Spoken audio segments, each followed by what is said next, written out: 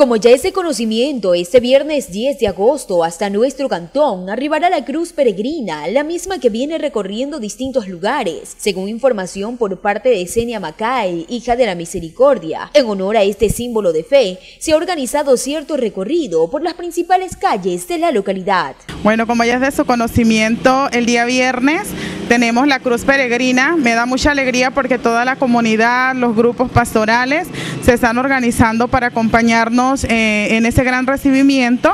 Va a ser la salida aquí arribita en donde está la Policía Nacional y llega a la cruz a eso de, 10 de la mañana, acompañada por una delegación de la diócesis de Zamora, de Loja y de Cuenca.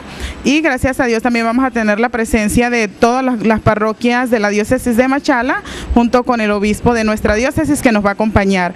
La caminata, como habíamos programado por todas las principales calles del cantón, y terminamos con la Eucaristía a las 11 de la mañana aquí en nuestra parroquia. Para ella, el que este evento religioso se lleve a cabo en este cantón es motivo de alegría, ya que con esto se demuestra el gran amor de Dios. Bueno, para nosotros es de mucha alegría, pues porque es un evento mundial, no solamente nacional en nuestro país, sino a nivel mundial, saber de que vamos a tener ese privilegio, ¿no? De tener la cruz aquí y recordarle de manera especial a todos los jóvenes eh, ese gran amor de Dios. Es lo que más nos da alegría, el poder decirles, hay alguien que los ama, hay alguien que, que lo quiere y que dio la vida por, por nosotros y que sigue vivo en cada corazón y tratando de entrar a los corazones de todos los jóvenes. Se espera eh, un día lleno de, festividad, un día lleno de alegría y esperamos que ese acontecimiento no se quede simplemente en una actividad, sino realmente en mirar nuevamente ese amor y esa cruz de Jesús,